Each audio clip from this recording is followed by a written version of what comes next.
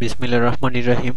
ব্যবসায়ী শাখার শিক্ষার্থীদের শুভেচ্ছা জানিয়ে আজকে লেসন শুরু করছি। আজকে আমরা সম্পূর্ণ নতুন একটি বিষয় নিয়ে আলোচনা করব, সেটি হচ্ছে ঝুঁকি ও আয় অথবা রিস্ক অ্যান্ড রিটার্ন আমরা এই চ্যাপ্টারটিকে পর্বে বিভক্ত করেছি, যাতে শিক্ষার্থীদের বিভিন্ন টপিকগুলো খুঁজে, সহজে খুঁজে পায় কিংবা খুঁজে পেতে সুবিধা হয় এই কারণে।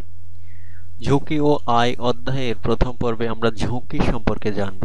আসলে ঝুঁকি কি কিংবা ঝুঁকি, ঝুঁকির সংজ্ঞা কিংবা ঝুঁকি বলতে কি বোঝায়?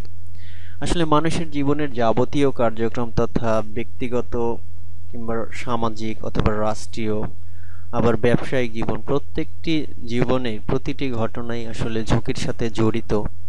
আর এই ঝুঁকি বা অনিশ্চয়তার যখন বাস্তবায়িত হয় কিংবা ঝুঁকিটি যখন আমাদের সামনে চলে আসে কিংবা কোনো ব্যবসায়ীকে ফেস করতে হয় এই বিষয়টি, তখনই ব্যবসায় ক্ষতির সম্মুখীন হতে হয়। কিন্তু কোনো ব্যবসায়ী সাধারণত ক্ষতির সম্মুখীন হতে চান না, যার কারণে ঝুঁকিটিকে কিংবা তার ব্যবসায়ের যে ঝুঁকি, সেটিকে নিরূপণ করে তা পরিমাপ করবার পর তিনি এটিকে এড়িয়ে যেতে চান কিংবা কীভাবে ঝুঁকি কমানো সম্ভব, সেই দিকে মনোনিবেশ করেন। আমরা যেহেতু ব্যবসায়ী ব্যবসায়ী শাখার ছাত্রছাত্রী কিংবা শিক্ষার্থী, সে কারণে আমরা ব্যবসায়িক ঝুঁকিটি নিয়ে এখানে, ঝুঁকি নিয়ে এখানে আলোচনা করি ঝুঁকি বলতে অনিশ্চয়তার যে অংশটুকু যেটি পরিমাপযোগ্য, সেটি আমাদের গণ্য হয়। আবার বিভিন্ন অর্থনীতিবিদগণ বিভিন্ন প্রেক্ষিতে ঝুঁকির যে সংজ্ঞা প্রদান করেছেন, তার মধ্যে থেকে আমরা দুটি সংজ্ঞা এখানে আলোচনা করব।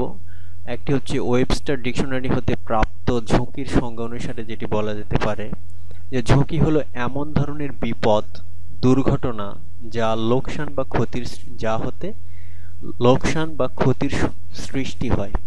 অর্থাৎ ঝুঁকি থেকে কোনো সম্পদের ক্ষয়ক্ষতি কিংবা সম্পদের দুর্ঘটনা কিংবা সম্পদ কিংবা বিনিয়োগ যেটি আমরা বলি না কেন, যেখান থেকে আমাদের আয় আসবে, সে আয় আসার পথটিকে বাধাগ্রস্ত করবে এবং আমাদের প্রত্যাশিত আয় আয় থেকে আমাদের প্রাপ্ত আয় কম হবে। এটি ওয়েবস্টার ডিকশনারি থেকে, যে সংজ্ঞাটি দেওয়া হয়েছে ঝুঁকির, সেটি বলা হয়েছে এবং দ্বিতীয়টি খান অ্যান্ড জেইনের মতে যে ঝুঁকি হলো কোনো একটি সম্পদ বা বিনিয়োগের প্রত্যাশিত আয় হতে প্রকৃত আয়ের তারতম্য। অর্থাৎ একই ধরনের ব্যাপার যে আমাদের যে সম্পদ বা যে বিনিয়োগ, সেই বিনিয়োগ হতে আমাদের যে আয় পাওয়া যাবে, সেটি না পাওয়া গিয়ে তার চেয়ে যদি কম পাওয়া যাওয়ার কম পাওয়ার সম্ভাবনা থাকে আয় কম হবার যে আশঙ্কা, সেটি ঝুঁকি হিসেবে আমরা সেটিকে গণ্য করতে পারি।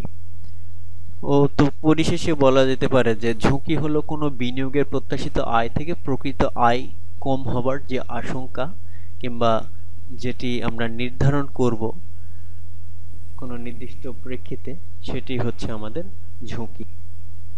তো আজকে এই ছিল আমাদের আয়োজন।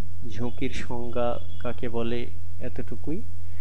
সবাইকে সাথে থাকার জন্য ধন্যবাদ এবং আশা করব আমাদের আগামী লেসনগুলো আপনারা দেখবেন। আবারও ব্যবসায়ী শাখার শিক্ষার্থীদের শুভেচ্ছা জানিয়ে এখানে বিদায় নিচ্ছি। আল্লাহ হাফিজ।